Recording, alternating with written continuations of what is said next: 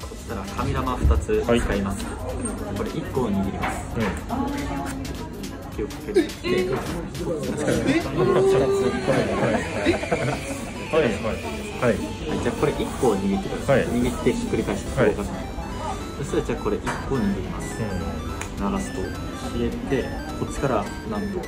つ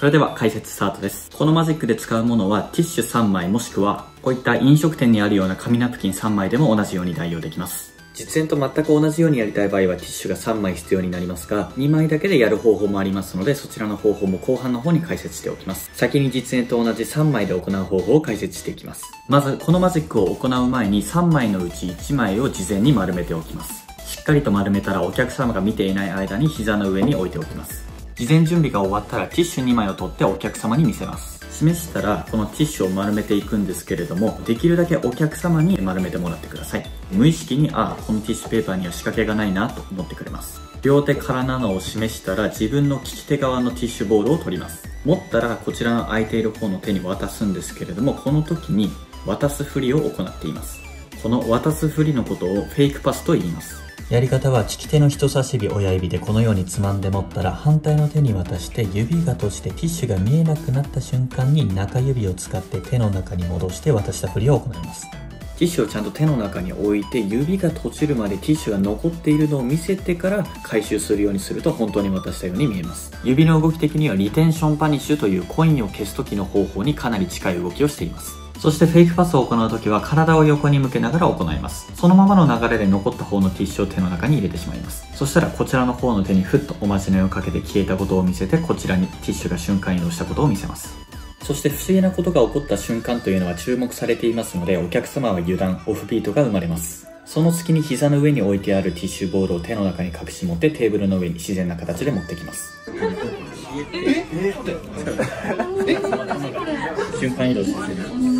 しっかりと相手が注目していれば意外と堂々とやっても気づかれないものです。隠し持ったらその手でティッシュを片方つまんでお客様に手を出してもらいます。その手の中にティッシュを渡すんですけれども渡す時につまんでいるティッシュを一旦手の中に入れて隠し持っているティッシュと一緒にギュッと潰してから渡します。潰してから渡すことによってお客様は2つあることに気づきにくくなります。渡したらこのままの状態でお客様にティッシュを握ってもらいます。握ってもらったのを確認してから手をひっくり返してから離すようにしてください。そして次にもう1個のボールを取り上げて先ほどと同じようにフェイクパスを行うんですけれどもこの時にティッシュを膝の上にさりげなく落としてしまいます。フェイクパスを行ったら隠し持っている手をテーブルの端っこに持ってきて指の力を緩めて下に落とします。落とす時に指をパッと開いて落とすのではなくて指の力を徐々に抜けていって下に落ちるようにすると指の形変わらなく自然に見せれます。実演では渡すふりをすると同時に下に落としています。渡すふりと同時に下に落とすのが難しいなという人はフェイクパスをしたらそのまま右手に保持します。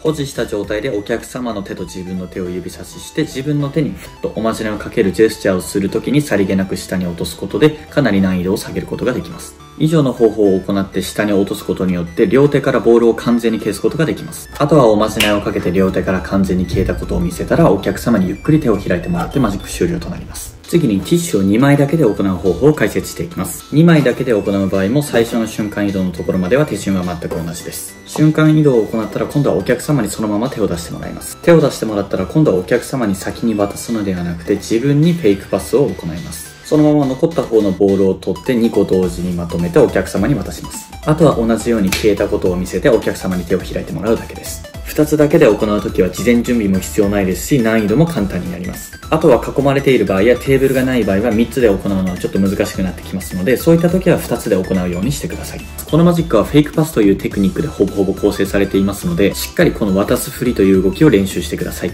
ちょっと一見難しそうに見えるかもしれないですがやり方を何人かに直接教えたところ数分後にはできるようになってましたので皆さんもちゃんとやれば必ずできるようになります。パッと見はただのゴミですが、だからこそいろんな場所で行うことができますし、なのにリアクションももらえるという素晴らしいマジックです。感想やわからないところがあれば、どんどん気軽にコメントしてください。また皆さんに役立つようなマジックも解説していきますので、今のうちに高評価と、そしてチャンネル登録の方をよろしくお願いいたします。それではご視聴ありがとうございました。バイバイ。